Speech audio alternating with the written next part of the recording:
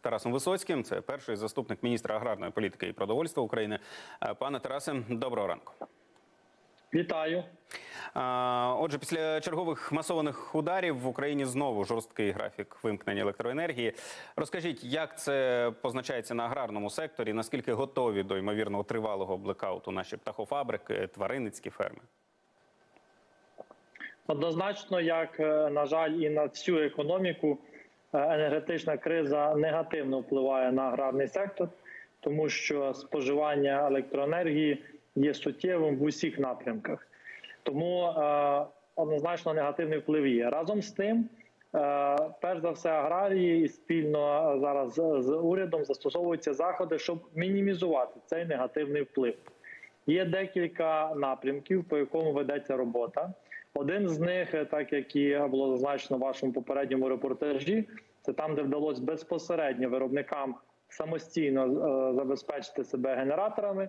Держава зі своєї сторони відмінила е, ПДВ та імпортні мита, будь-які збори на ввезення генераторів, і також було проголосовано в парламенті відміна необхідності ліцензії на зберігання палива чи екологічних зборів, тобто повністю дерегулювала цей блок. Також Мінагрополітики звернулося до міжнародних партнерів щодо підтримки е, благодійної, фактично як гуманітарної допомоги по генераторам для тих підприємств, які не мають фінансової змоги це купити. І очікуємо, що перші поставки вже мали би бути навіть цього тижня. Як тільки відбудеться, ми дамо відповідний звіт. І є третій напрям. Уряд минулого тижня вніс зміни в постанову про критичну інфраструктуру, де виробництво сільгоспродукції попадає як важливий елемент. Наприклад, у вас був е, репортаж по тваринництву, і Мінагрополітики закріплено як уповноважений орган, е, який може розглядати і відповідно фіксувати переліки об'єктів критичної інфраструктури. Тому з цього тижня буде розпочато е, збір відповідних заявок, і також ті об'єкти, які є критично важливі для внутрішньої продовольчої безпеки, зможуть податися відповідно пройти цю оцінку і мати ще додаткові інструменти для гарантій отримання електроенергії. Пане Тарас, сьогодні з усіма нашими гостями ми говоримо про круглу дату. 300 днів вже триває повномасштабна війна. Е, Як вона загалом вплинула на аграріїв? Якщо порівнювати стан сектору до 24 лютого і зараз, наскільки критичним є падіння? Війна вплинула негативно на аграрний сектор, як і на інші сектори. Е, В порівнянні з промисловістю чи іншими напрямками агросектор вийшов більш стійким, але все рівно ж, звісно, є негативний вплив. Е, Було пораховано спільно з Київською школою економіки і Мінагрополітики, що тільки прямі збитки е, становлять понад 6 мільярдів доларів, вже понесені на сьогодні в зв'язку з війною, а непрямі збитки е, сягають близько 34 мільярдів доларів. Тобто втрати через неможливість продати продукцію, виростити продукцію, е, здорожчання логістики, зменшення ціни. Тобто, ми бачимо, що на аграрний сектор до 40 мільярдів доларів це суттєві цифри. Разом з тим, в цілому аграрний сектор, незважаючи на падіння, показав менші показники зниження ніж всі інші сектори. Продовжує працювати, за що ми вдячні аграрним виробникам, повністю забезпечує потреби внутрішньої продовольчої безпеки і також активно експортується для забезпечення зовнішньої продовольчої безпеки. А яка зараз ситуація на елеваторах у зв'язку з відключеннями електрики? І, до речі, що зараз із збиранням кукурудзи, яка в багатьох регіонах, я так розумію, досі на полі? Ряд факторів, в тому числі військові, е, цього року спричинили затримку збиранням кукурудзи. Ви абсолютно праві. Фактично, всі інші сільськогосподарські культури зібрані. Це єдине, яке залишилося так досить масово в полях. Ще 30% не зібрано. Відповідно, для її збирання є декілька методик.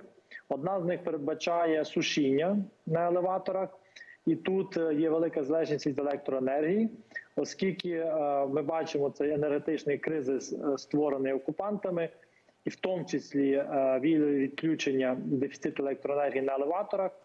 Е, Держава вийшла з ініціативою спільно з міжнародними партнерами щодо роздачі безкоштовно тимчасових засобів для зберігання, такі рукави поліетиленові до 200 тонн. Фактично їх було роздано на об'єм зберігання близько 5 мільйонів тонн. Одна з методик зберігання кукурузи, перш за все для тваринських цілей, передбачає можливість її пакування в ці рукави без сушіння, тобто без витрат електроенергії.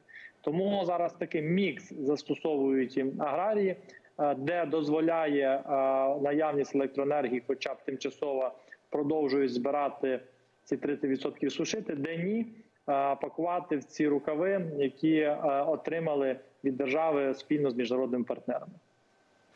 Експерти агроринку кажуть, що наступного року посівні площі під зерновими будуть на 45% меншими, а урожай порівняно з цьогорічним зменшиться на 60%. Е, Чи буде за таких умов Україні з чим виходити на експортні ринки?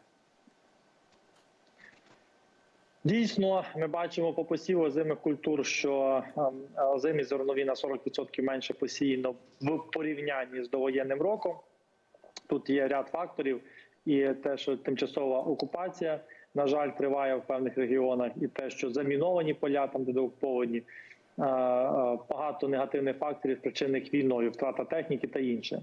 Разом з тим, е, з точки зору внутрішнього споживання підстав для хвилювань для українців немає.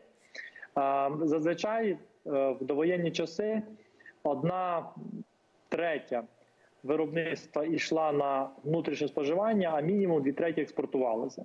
Тому посівних площ навіть зі зменшенням на 40% більш ніж достатньо, щоб забезпечити внутрішнє споживання. Скажімо, навіть е, все рівно це буде вдвічі, мінімум вдвічі більше ніж внутрішнє споживання. Тому в тому числі Україна і продовжує і буде продовжувати експортувати для того, щоб забезпечити країни, перш за все, які страждають від голоду, необхідним збіжжям для своїх мешканців. Осіння посівна через війну, економічні проблеми, погодні фактори була досить пізньою цього року. Вже у грудні вдарили досить відчутні морози. Розкажіть, будь ласка, в якому стані зараз озимі? Пане Е, Фактично, Ага, так. Так, фактично дійсно була така нетипова осінь, дуже довгі затяжні опади і е, трошки з- зсунуті графіки посіву. Разом з тим е, отримали і моніторинг від Укргідрометцентру станом на грудень, який е, зазначає, що е, 60% в задовільному стані, е, 30-40% все залежатиме від е, погодних умов протягом зими. Це нормально, це середньостатистичний показник по всіх роках. Тому наразі е, цей погодний фактор критично не вплинув на стан озимих культур. Надіємося, що і надалі е, погода буде сприятлива, і все-таки після передзимівлі більшість посівів вийдуть в гарному або в задовільному стані.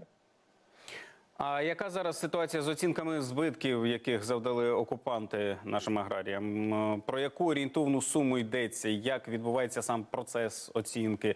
І чи можна сподіватися на компенсацію цих збитків? Є наступний алгоритм, який ми постійно, як профільне міністерство, комунікуємо з агросектором, в тому числі за підтримки профільних аграрних асоціацій. Перш за все, треба безпосередньо суб'єктам зафіксувати ці збитки. Методики доступні. Вони є публічно і в нас на вебсайті, і вебінари є декілька проведені. Тобто інформація доступна. Тому, перш за все, ми звертаємось закликом для всіх суб'єктів господарювання, аграріїв, і в разі настання випадку втрати їх зафіксувати. Наступне вони передаються, фактично акумулюються відповідно і фіксуються ДСНС, поліція, прокуратура.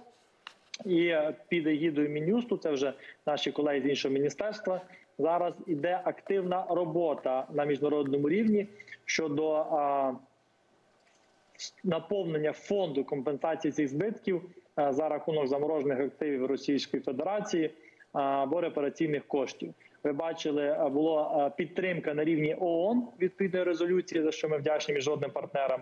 Тому очікуємо, що е, ця робота незабаром закінчиться уже більш конкретним планом наповнення цього фонду. Він передбачений в бюджеті 2023 року. Зараз головне їх конфіскувати ці активи і туди передати. Після цього фактично е, кожен аграрій, який зафіксував збитки, буде чітко розуміти. Робиться все, щоб це було в електронному вигляді. е, куди подати цей пакет документів для отримання. Звісно, що джерелом основним знову ж повторюсь, має бути е, країна-агресор. Внутрішнього джерела для цього немає. І зараз якраз проводиться активна робота, щоб це відбулося. Впевнені, що цей результат буде, але е, треба ж трішки зачекати. Але знову ж ще раз повторюся, бо це дуже важливо. Не зафіксувавши збитки на першому етапі, потім буде складно на різних інстанціях е, отримати компенсацію. Тому ми просимо, будь ласка, хто ще цього не зробив, розглянути інформацію, яка є в нас на вебсайті, е, в, асоціаціях, в вебінарах. І якщо такий нещасний випадок стався, все-таки ці збитки при першій можливості зафіксувати.